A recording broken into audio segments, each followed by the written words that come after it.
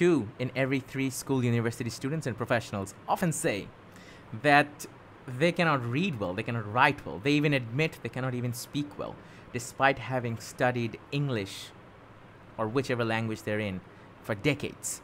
So being able to chat with friends for hours is one thing, but whenever put in a formal setting and asked to read, write, speak in an articulate way, majority goes blank.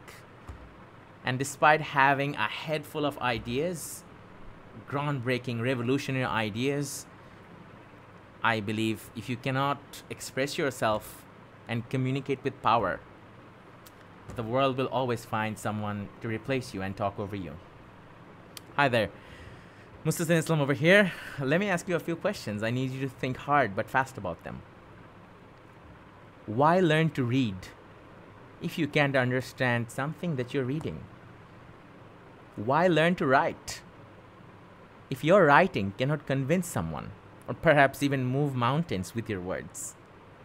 Why even study a language if you cannot communicate like a pro? Are all those years wasted? Hopefully not. Ladies and gentlemen, that's the major difference between language and all other subjects. All of them are objective and have one definite answer. But with language, you can express your love or hatred towards certain someone, something in innumerable number of ways. Right? So at the end of the day, the examiner is never going to meet you in person and get to know you over a cup of coffee and what an awesome person you are. They will only judge you based on how well you can read and write. Then again, you've got to know the rules to ace the game.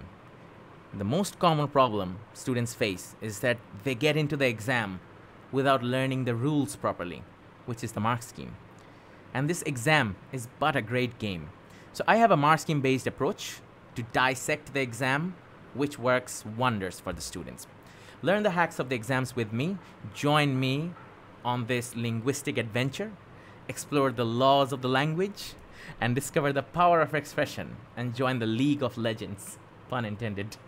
So, I have three rules for my students. First of all, to own the English language, you know, make it yours. And second, to be English teachers. If not, at least think like one. Number three, be the smartest person in any room you're in. As I always say, Kali Kalimata equals to Kalikatha. But please pardon the background sound behind me, alright? There's construction work going on. It's Dhaka City. Anyways, language should allow you to feel bold and give you a stronger voice and not intimidated. Language does not have to be flawless for you to ace the exam. It's really time to debunk that myth. Learn how to think critically while reading and writing and approach language as a means to express yourself and not just to pass the exam. Because students who do well with me, they're set for life. IELTS, GRE, GMAT, SAT, you name it.